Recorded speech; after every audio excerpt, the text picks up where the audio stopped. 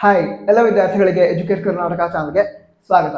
K C T ಎಕ್ಸಾಮ್ನ result ಯಾವಾಗ ಬರುತ್ತೆ ಇದ್ರ ಬಗ್ಗೆ ಇನ್ಫಾರ್ಮೇಶನ್ ಕೂಡ ವಿದ್ಯಾರ್ಥಿಗಳು ಹೇಳ್ತಾ ಇದ್ರು. ಈ ವಿಡಿಯೋದಲ್ಲಿ ಇನ್ಫಾರ್ಮೇಶನ್ನ ತಿಳಿದುಕೊಳ್ತಾ ಇದೀವಿ ವಿಡಿಯೋನ ಸ್ಟಾರ್ಟ್ ಮಾಡೋಣ ಮೊದಲೇದಾಗಿ. ಯಾವ ವಿದ್ಯಾರ್ಥಿಗಳು ಎರಡನೇ ಬೋರ್ಡ್ ಎಕ್ಸಾಮ್ ಅನ್ನ ಬರೀತಾ ಇದ್ರಿ ಪಿ ಯು ಸಿ ಎರಡನೇ ಬೋರ್ಡ್ ಎಕ್ಸಾಮ್ ಅದರಲ್ಲಿ ನಿಮಗೆ ಮೊದಲನೇ ಬೋರ್ಡ್ ಎಕ್ಸಾಮ್ಗಿಂತ ಹೆಚ್ಚಿನ ಮಾರ್ಕ್ಸ್ ಬಂತು ಅಂತ ಹೇಳಿದ್ರೆ, ಆ ಹೆಚ್ಚಿಗೆ ಬಂದಂತಹ ಮಾರ್ಕ್ಸ್ ಅನ್ನ ಕೆ ಸಿ ಟಿ ರ್ಯಾಂಕಿಂಗ್ ಅನ್ನ ಅನೌನ್ಸ್ ಮಾಡೋದಕ್ಕೆ ಕನ್ಸಿಡರ್ ಮಾಡ್ತಾರೆ. ಟೆನ್ಷನ್ ಮಾಡ್ಕೊಳ್ಳೋ ಅವಶ್ಯಕತೆ ಇಲ್ಲ.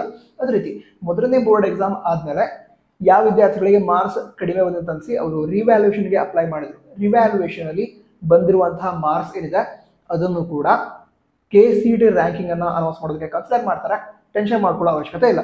ಸರಿ, ಈಗ ವಿಷಯವನ್ನು ತಿಳ್ಕೊಳ್ತಾ ಹೋಗೋದಾದ್ರೆ, ಈಗ ಕೆ ಸಿ ಟಿ ಎಕ್ಸಾಮ್ ಆಯಿತು ಎಕ್ಸಾಮಲ್ಲಿ ಔಟ್ ಆಫ್ ಸಿಲೆಬಸ್ ಅಂತ ತುಂಬಾ ಕ್ವಶನ್ಸ್ ಬಂತು.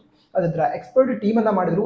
ಎಕ್ಸ್ಪರ್ಟ್ ಟೀಮ್ನವರು ಔಟ್ ಆಫ್ ಸಿಲೆಬಸ್ ಇಂದ ಬಂದಂತಹ ಕ್ವಶನ್ಸ್ ಏನಿದೆ, ಅದನ್ನ ಸಂಪೂರ್ಣವಾಗಿ ಕೈ ಬಿಡಲಾಗತ್ತೆ ಅವುಗಳನ್ನ ಕನ್ಸಿಡರ್ ಮಾಡಲಾಗಲ್ಲ ಅಂತ ಹೇಳಿದ್ರು. ಅಂದ್ರೆ ರ್ಯಾಂಕಿಂಗ್ ಅನೌನ್ಸ್ ಮಾಡೋದಕ್ಕೆ ಔಟ್ ಆಫ್ ಸಿಲೆಬಸ್ ಇಂದ ಬಂದಂತಹ ಕ್ವಶನ್ ಅನ್ನ ಕನ್ಸಿಡರ್ ಮಾಡಲ್ಲ ಅಂತ ಹೇಳಿದ್ರು. ಅದೇ ರೀತಿ ಸಿಲೆಬಸ್ನಿಂದ ಬಂದಂತಹ ಕ್ವಶನ್ಸ್ ಏನಿತ್ತು?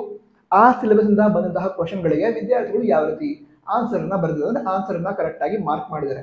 ಅದರ ಆಧಾರದ ಮೇಲೆ ಕೆ ಸಿ ಡಿ ರ್ಯಾಂಕಿಂಗ್ ಅನ್ನ ಅನೌನ್ಸ್ ಮಾಡಲಾಗತ್ತೆ ಅಂತ ಹೇಳಿದ್ರು. ಸೊ ಈ ರೀತಿ ಅನೌನ್ಸ್ಮೆಂಟ್ ಆಯ್ತಲ್ವಾ? ಅದೇ ಟೈಮಲ್ಲಿ ಈ ಒಂದು ಕೆ ಸಿ ಟಿ ರಿಸಲ್ಟ್ ಏನಿದೆ, ಅದು ಮೇ ಕೊನೆಯ ವಾರದಲ್ಲಿ ಅನೌನ್ಸ್ ಮಾಡುವಂತಹ ಉದ್ದೇಶ ಇದೆ ಅಂತ ಕೂಡ ಹೇಳಿದ್ರು. ಸೊ ಮೇ ಲಾಸ್ಟ್ ವೀಕ್ನಲ್ಲಿ ಕೆ ಸಿ ಇ ಟಿ ಎಕ್ಸಾಮ್ನ ರಿಸಲ್ಟ್ ಬರುವಂತಹ ಚಾನ್ಸಸ್ ತುಂಬ ಜಾಸ್ತಿ ಇದೆ. ರಿಸಲ್ಟ್ ಬಂದ ನಂತರ ಕೌನ್ಸಿಲಿಂಗ್ ಪ್ರಾಸೆಸ್ ಸ್ಟಾರ್ಟ್ ಆಗುತ್ತೆ. ನಂತರ ಕೌನ್ಸಿಲಿಂಗ್ ಪ್ರಾಸೆಸ್ ಬಗ್ಗೆ ಎಲ್ಲ ಇನ್ಫಾರ್ಮೇಶನ್ ನಿಮ್ಗೆ ಹೇಳ್ತೀವಿ. ನಂತರ ರಿಸಲ್ಟ್ ಡೇಟ್ ಅನೌನ್ಸ್ ಆದರೆ ಅದನ್ನು ಕೂಡ ಆದಷ್ಟು ಬೇಗ ಹೇಳ್ತೀವಿ. ಅದಕ್ಕೋಸ್ಕರ ಸಬ್ಸ್ಕ್ರೈಬ್ ಮಾಡಿ. ವಿಡಿಯೋ ಸಹಾಯ ಆಗಿದ್ರೆ ಲೈಕ್ ಕೂಡ ಮಾಡಿ. ನಿಮ್ಮ ಫ್ರೆಂಡ್ಸ್ಗೆ ಶೇರ್ ಕೂಡ ಮಾಡಿ. ಆಲ್ ದ ಬೆಸ್ಟ್ ಜೈ ಹಿಂದ್. వంద మాత్రం.